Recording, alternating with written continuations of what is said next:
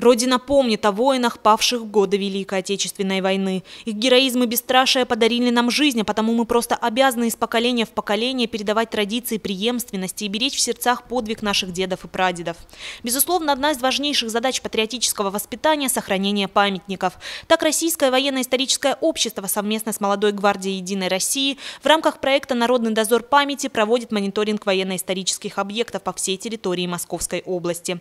Уже сегодня в единый реестр занесены более полутора тысяч мемориалов, мест воинских захоронений и других объектов.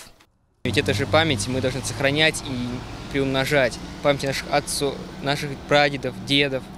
А ведь э, следующее поколение может их даже не застать. Подвиг наших дедов, отцов и вообще героев в целом Великой Отечественной войны очень важен для нас, поскольку благодаря им, их подвигам, их героизму мы живем и по сей день, и радуемся каждый день жизни. Поэтому я думаю, малость, которую мы можем сделать, уделить некоторое внимание благосостоянием памятников или просто мемориалам в целом, очень важно для героев.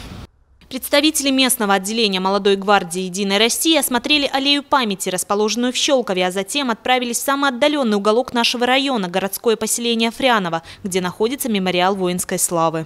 В интернете нет единого реестра, нет единого списка э, всех памятников. Есть какие-то урывки, клочки, отголоски. Э, а мы бы хотели создать полную картину, то есть полный мониторинг всей Московской области. Узнать о памятниках Великой Отечественной войны, расположенных в Московской области, можно с помощью приложения «Народный дозор памяти». Каждому из них прилагаются фото, описание и историческая справка. Анна Балиет, Игорь Поляков, телерадиокомпания «Щелково».